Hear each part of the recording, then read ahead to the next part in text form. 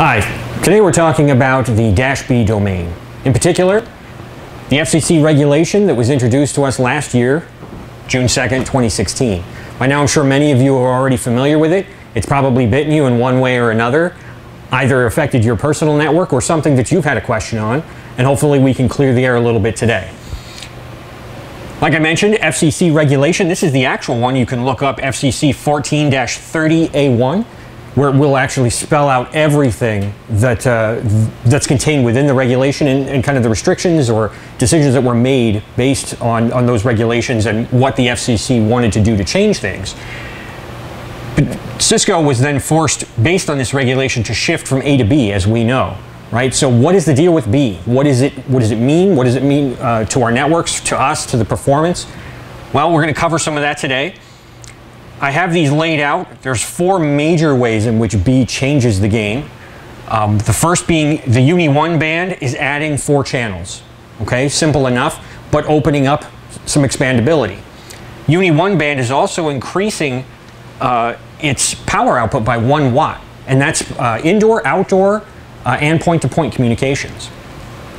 In addition, terminal Doppler bands, they're adding three channels.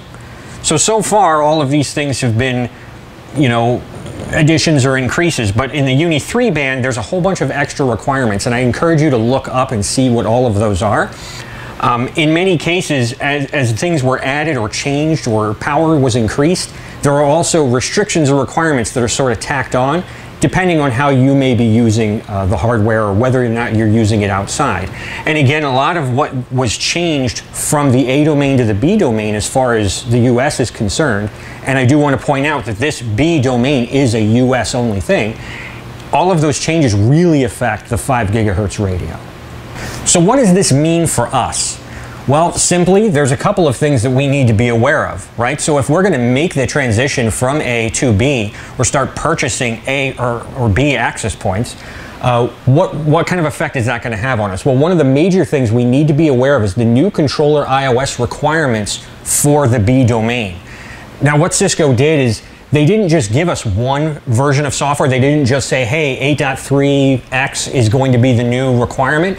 They gave us to us in several flavors and I have them cited here, um, at least as a starting point 8.0.132, 8.2.110, and 8.3.102. Those were the starting um, software revisions that we would be looking at. Today, um, there are higher versions of these trains already available that you can move to, where they've either um, tweaked things or added on some stuff. But I wanted to give you the starting points as a minimum that you needed to have uh, to be able to utilize the B domain APs.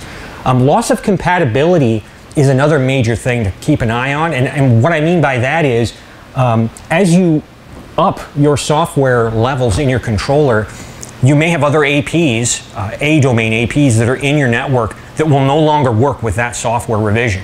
Uh, maybe that software is too high for the AP.